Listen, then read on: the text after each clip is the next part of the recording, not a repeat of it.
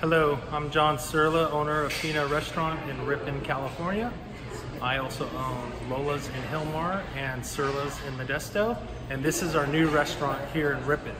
Concept of Fina is a contemporary Italian cuisine. Uh, my wife, Josefina, is Italian and she is from a small town in Italy.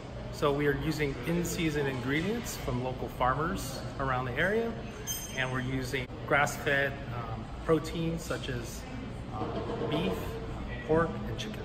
Um, we're using all scratch ingredients for food as well as a cocktail. And we have a beautiful wine list and a beautiful cocktail list, so come try a yummy drink or a house-made dessert or house-made pasta. And the coolest thing in the kitchen, I have a wood-fired pizza oven.